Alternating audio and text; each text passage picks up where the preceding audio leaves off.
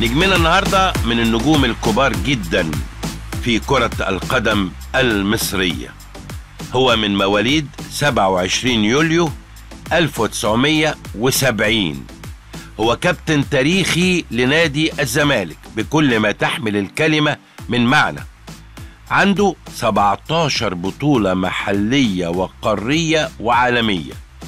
توج أربع بطولات دوري ممتاز اتنين بطولة كاس مصر اتنين بطولة كأس السوبر مصري تلات ألقاب دوري أبطال إفريقيا بطولة واحدة إفريقيا أبطال الكؤوس تلات بطولات كأس السوبر إفريقي بطولة وحيدة كأس أفرو أسيوية بطولة واحدة كأس السوبر المصري السعودي وبطولة كأس العرب مع منتخب مصر 1992 ريكورد رائع جدا.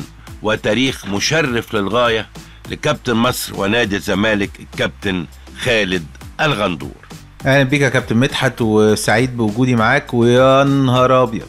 طيب احكي لنا بقى عن ذكريات الطفولة مع شهر رمضان. كانت طفولة جميلة كلها كورة. أهم حاجة في رمضان دي كانت الدورات الرمضانية و... وفوازير نيلي وليالي الحلمية. جميل. إيه هي الطقوس اللي بتواظب عليها في الشهر الكريم؟ وأنا صغير يعني كل سن بيبقى له طقوس مختلفة يعني وأنا قبل ما ألعب كورة في نادي الزمالك غير ما لعبت كورة في نادي الزمالك غير ما بطلت غير ما بقيت إعلامي. بس أحلى أيام طبعا هي الأوقات اللي هي من 13 14 سنة كده لغاية 20 25 سنة دي اللي هي كان دايما في دورات رمضانية نروح نلعب في نادي الصيد ونادي هليوبلس ونادي الجزيرة و... ومركز شباب مدينة نصر والشوارع و... كانت أيام جميلة. طيب خلينا نتكلم على الأكل بقى. إيه الأكلات المفضلة اللي أنت بتحبها خلال شهر رمضان؟ المحشي الحمام ال- البط آه، الفراخ المشوية اللحمة الستيك. أنت طبعا مش من زمان قوي لكن هل اختلف رمضان زمان عن رمضان بتاع اليومين دول؟ آه كتير. رمضان زمان كان له آه طعم مختلف يعني. لكن دلوقتي لا الوضع اختلف. الحياة اتغيرت تماما. يعني غير على أيام ما كنا صغيرين الوضع اختلف تماما عن دلوقتي. بالنسبة للدورات الرمضانية هل كنت بتشارك فيها خلال شهر رمضان؟ بص يعني على أيامي كانت نهاية آه، الكرة الشراب. يعني كان تقريبا فاضل لها سنة وتنقرض. انت عارفين زمان كان في كرة شراب وكان بيلعبوها في كل حتة في الشارع. دلوقتي ما بقاش في شوارع أساسا. فأنا كنت يمكن مرة واحدة بس لعبت فيها كرة شراب كنت أتوقع بقى إن كرة شراب زي الكرة الكفر أو الكرة اللي إحنا بنلعب بيها كورة عامة يعني دلوقتي.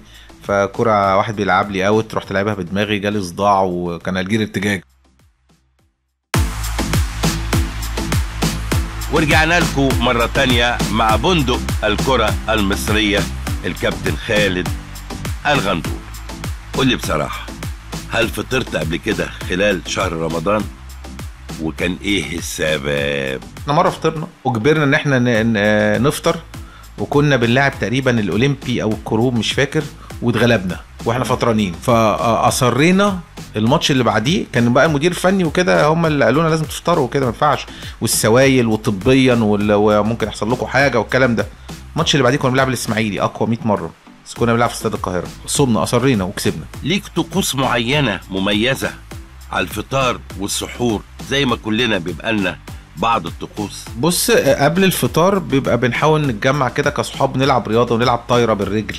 معرفش يعني بنضيع الأجواء الصيامية دي وبتاع.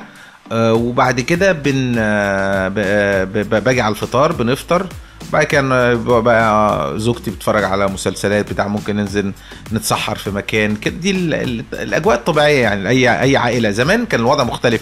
وكان بقى من الأجيال اللي عدت رمضان عدى عليها صيف شتاء يعني. يعني أنا من الأجيال اللي رمضان كان في شهر سبعة وشهر ستة وشهر خمسة وشهر أربعة وشهر ثلاثة وشهر اثنين وواحد واثناشر وحداشر. يعني مر علينا آه، شهور السنة كلها جه رمضان آه، لغاية ما وصلنا اللي إحنا فيه دلوقتي. في نهاية الحوار شكرا جزيلا لكابتن مصر ونادي الزمالك التاريخي الكابتن الكبير خالد الغندور. حبيبي يا كابتن مدحت يا محترم يعني انت عارف ان انت مثل اعلى ليا وشخصيه كاريزماتيك وحضور وبسم الله ما شاء الله. ويا نهار أبيض.